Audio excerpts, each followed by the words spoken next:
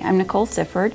I attended Three Rivers College in 1989 and I am still here and taught for um, Poplar Bluff Schools for seven years. I was able to finish my master's and the timing was perfect that a math position came open at Three Rivers and I was able to transfer right into Three Rivers as a math instructor. So right now I'm the department chair over math, science, social science, and uh, love what I do.